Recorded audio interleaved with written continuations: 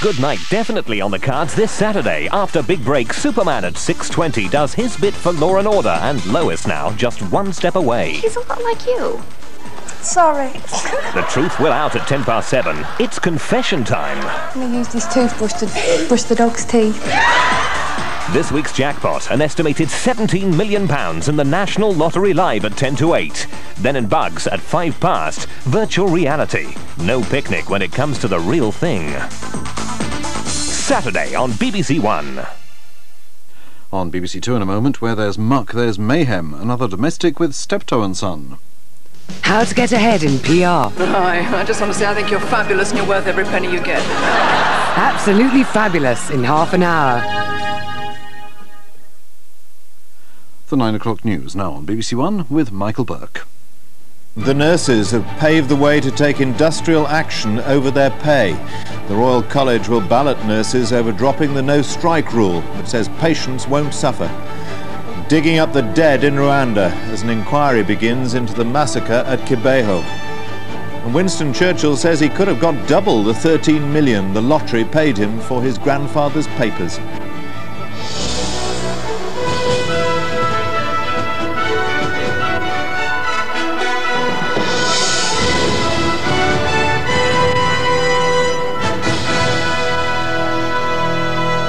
Good evening. The Royal College of Nursing, the largest of the nurses' unions, has decided to ballot its members over changing the no strike rule in its constitution, so paving the way for them to take industrial action. They're angry about their pay award this year. They were offered 1% nationally, with up to a further 2% to be negotiated locally. The college says they may withdraw their labour in some way that will not directly harm patients.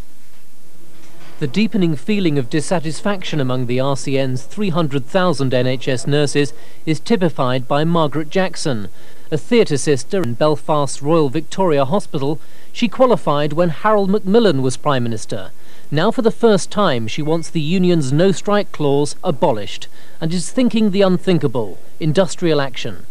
It's something in my wildest dreams when I started nursing in 1960 that I would, it never occurred to me that I would have to consider it in any way. And I really am, I find it depressing to think that I have to now consider doing such a thing in order to to take my profession forward, to know that we're recognised and valued for what we do. But there's no danger of nurses from the RCN abandoning the wards. They say nothing will ever be done to damage patient care.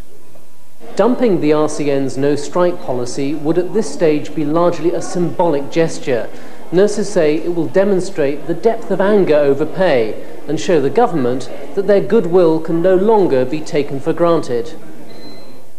In London, the RCN leadership said future action might involve nurses refusing to fill out forms, which the union claims could cause administrative chaos in hospitals. Even that would be a momentous step for a union which has never sanctioned industrial action since it was formed in 1916 overwhelmingly the view that we're having from members right across the mm. country is that, that they feel that they are being pushed into it. They feel that the government has taken no notice of nursing, that every time doctors threaten industrial action,